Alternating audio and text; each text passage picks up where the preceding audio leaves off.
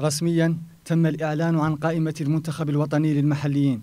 ستدخل القائمة معسكرا تحضيريا في نواكشوط من 15 حتى 20 مارس الجاري وذلك استعدادا لكأس العرب قطر 2021 شهدت القائمة استدعاء نجم المنتخب الوطني للشباب ونادي الكونكورد عمر مبارك. وضمت كذلك في حراسة المرمى ناموري دياو من تفرغ زينة باكين جاي من كينغز نواكشوط وأبو جوب من الشرطة الوطنية. في الدفاع عمر مانغان من اف سي نواديبو بالله بلال تبرغ زينة المعلوم باه من تبرغ زينة أيضا وأبو سي من الساحل. رشيد سيد محمد من واكشوط كينغز مصطفى ديالو اف نواديبو دمبة تراوري تبرغ زينة محمد نبيبو اف سي نواديبو في الوسط الحسن بويلير من اف سي نواديبو لجواد محمد الخي كينغسون واكشوط محسن بدا اف سي نواديبو سعدنا سليمان الكونكورد سويدي محمد اف سي نواديبو والحسن تقدي أيضا من اف سي نواديبو عمر مبارك من الوئام.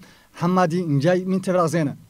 وفي الهجوم الشيخ حطاب تفرغ زينة حمية طنجي اف سي نواديبو مولاي خليل بسام اف سي نواديبو عبد الله الشقران الشرطة الوطنية وسيدي معطلة من تجكجة ودريسة تيام من الوئام.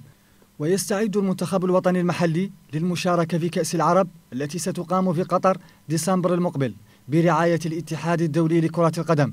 وستشارك جل المنتخبات إما بالأولمبي أو الشباب أو بالمنتخب المحلي.